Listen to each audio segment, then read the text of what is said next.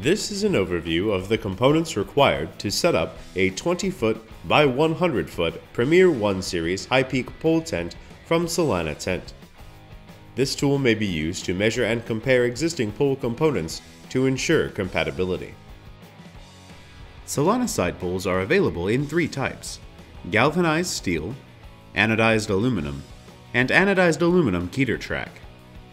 Medium duty center poles are available in galvanized steel and anodized aluminum, and heavy duty center poles are only available in anodized aluminum.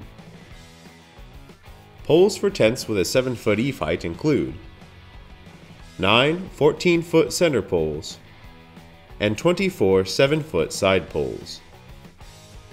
If the desired eave height is 8 foot instead of 7 foot, the side poles will be 8 foot tall, with 15 foot center poles. Anchoring devices include 48 ratchet buckle assemblies and 48 stakes.